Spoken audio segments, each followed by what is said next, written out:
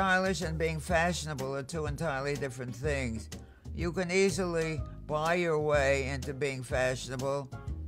Style, I think, is in your DNA, but it implies